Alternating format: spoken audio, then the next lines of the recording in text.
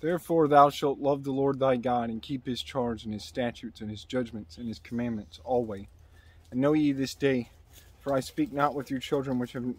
which have not known, which have not seen the chastisement of the Lord your God, his greatness, his mighty hand, and his stretched out arm, and his miracles, and his acts, which he did in the midst of Egypt unto Pharaoh the king of Egypt, and unto all his land, and what he did unto the army of Egypt, unto their horses, and to their chariots, how he made the water of the Red Sea to overflow them as they pursued after you, and how the Lord hath destroyed them unto this day, and what he did unto you in the wilderness until ye came into this place, and what he did unto Dathan and Abiram, the sons of Eliab, the sons of the son of Reuben,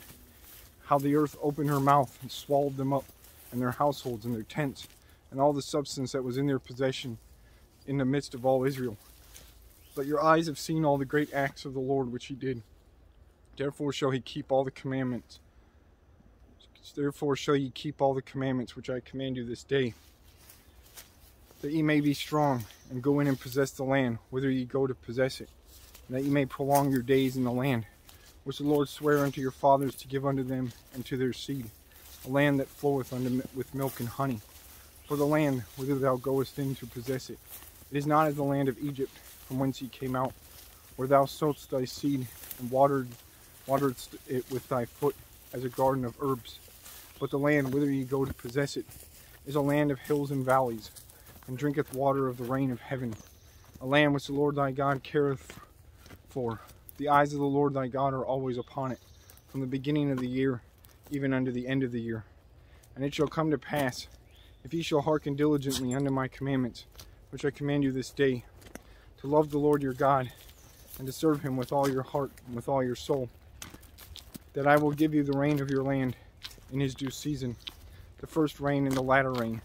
that thou mayest gather in thy corn, and thy wine, and thine oil. And I will send grass in thy fields for thy cattle, that thou mayest eat and be full. Take heed to yourselves, that your heart be not deceived, and ye turn aside and serve other gods and worship them. And then the Lord's wrath be kindled against you, and he shut up the heaven, that there be no rain, and that the land yield not her fruit,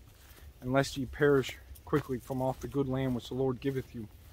Therefore shall ye lay up these, these my words in your heart and in your soul,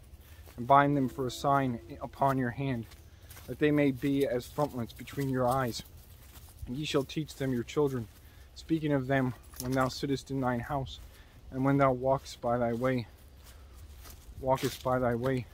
when thou liest down, and when thou risest up. And thou shalt write them upon the doorpost of thine house, and upon thy gates, that your days may be multiplied, and the days of your children, in the land which the Lord sware unto your fathers to give them, as the days of heaven upon the earth.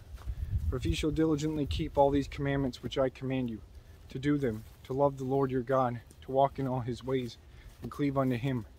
then will the Lord drive out all these nations from before you, and ye shall possess greater nations and mightier than yourselves. Every place whereon the soles of your feet shall tread shall be yours, from the wilderness and, and Lebanon, from the river, the river Euphrates, even the uttermost sea shall your coast be. There shall no man be able to stand before you, for the Lord your God shall lay the fear of you and the dread of you upon all the land that ye shall tread upon, as he hath said unto you. Behold, I set before you this day a blessing and a curse. A blessing, if you obey the commandments of the Lord your God, which I command you this day, and a curse, if ye will not obey the commandments of the Lord your God, but turn aside out of the way which I command you this day, to go after other gods, which ye have not known. And it shall come to pass, when the Lord thy God hath brought thee in unto the land whither thou goest to possess it, that thou shalt put the blessing upon Mount Gerizim, and the curse upon Mount Ebal. Are you are they not on the other side Jordan by the way,